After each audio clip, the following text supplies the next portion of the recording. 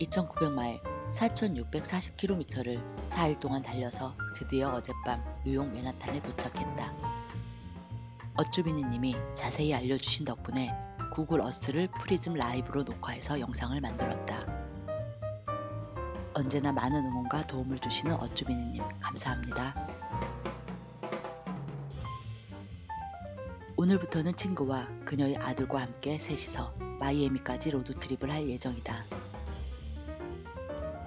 베트남에 살고 있는 친구와 작년에는 서부 road trip을 하였고 올해는 동부 road trip. 앞으로도 기회만 되면 많은 곳을 함께 여행할 친구와 나, 우리는 한다면 한다.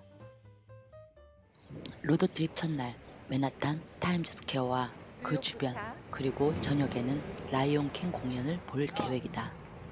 먼저 도착해 있던 친구는 이틀 동안 뉴욕 이곳저곳을 미리 둘러보았고 내일은 바로 이동을 할 계획이다. 나는 뉴욕은 이번까지 세 번째 방문이다. 우와, 얼마 만에 타보는 지하철인지. 사실 미국에서는 버스도 안 타봤다.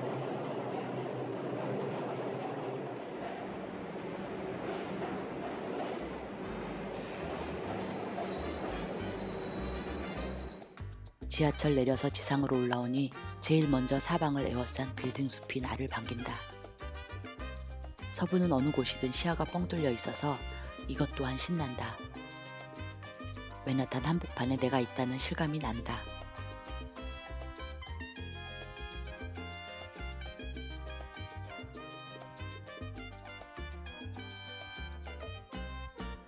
언제 와도 정신없고 복잡하고 사람 많은 타임즈 스퀘어 거리.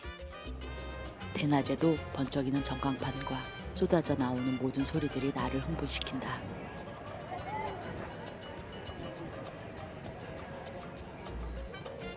미국에서 가장 붐비는 거리 타임즈 스퀘어.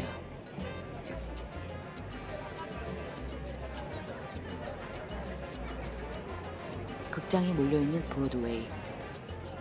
이곳에서 우리도 그중 유명한 뮤지컬 공연 라이언 킹을 볼 계획이다. 정중한 코카콜라 광고 및 한눈에 들어오는 현대 자동차 광고.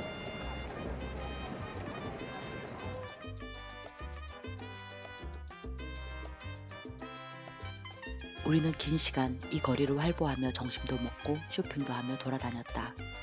쇼핑 중 친구가 뉴욕 글씨가 찍힌 스냅백을 하나 사주었다.